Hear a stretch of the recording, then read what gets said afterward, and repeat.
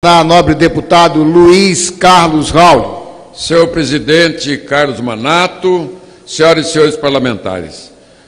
Quem em sã consciência imagina que os problemas de um deputado que traz para a vida parlamentar, que vem pelo voto do povo da sua cidade, da sua região, possa alguém na casa se aliar e se abraçar aos problemas dele? Quando chega um deputado aqui, ele vem com as suas virtudes e alguns com seus problemas. É o caso do presidente Eduardo Cunha, que veio com as suas virtudes, com seus defeitos e seus problemas.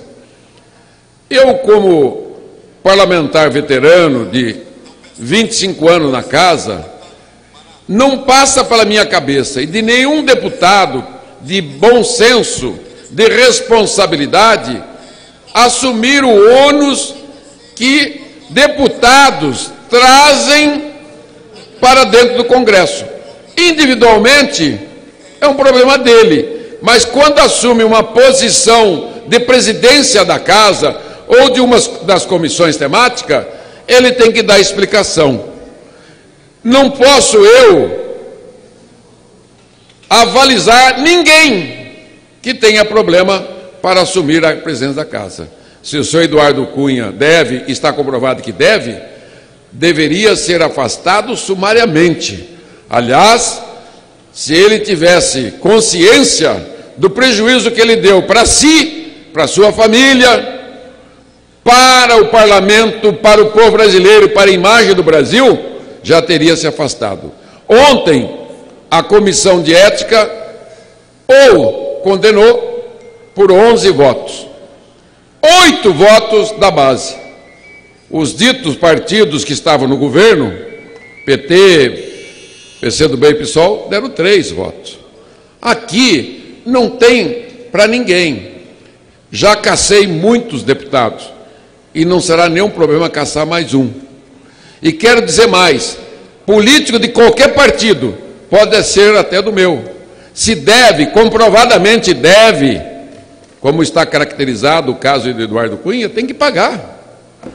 Aqui não é reformatório, aqui não é casa de recuperação, aqui é a casa do povo brasileiro. E o político tem que ter isenção, tem que estar limpo para assumir qualquer cargo na hierarquia da República. É bem direto, é bem simples. Não é difícil entender que na vida pública, Assim como na vida privada, quem não tem problema, mas não traga ele para que outros e o país pague pelos, pelos problemas desta pessoa. Seja Eduardo, seja Paulo, Pedro, né, Lula, quem quer que seja. E entendo mais, que as decisões do foro privilegiado já acabaram.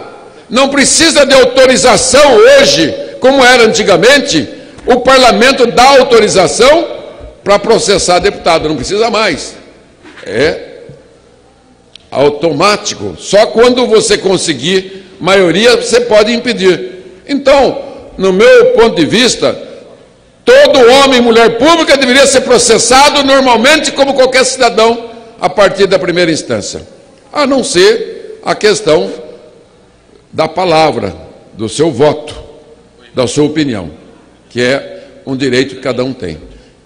Então, nesse sentido, estamos convictos, vindo o processo, caçaremos. Se tivesse vindo contra, mudaríamos aqui, porque a soberania. Muito obrigado, nobre deputado. Conceda a palavra.